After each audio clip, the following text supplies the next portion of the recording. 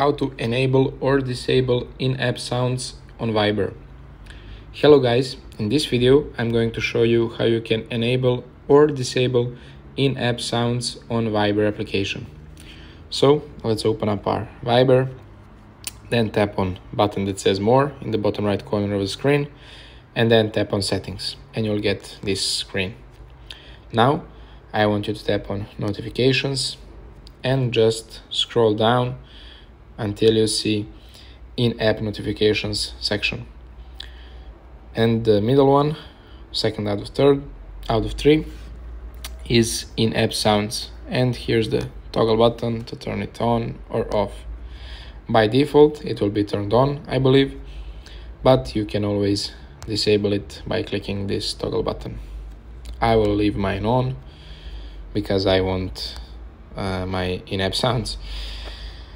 So basically that's it for today's tutorial.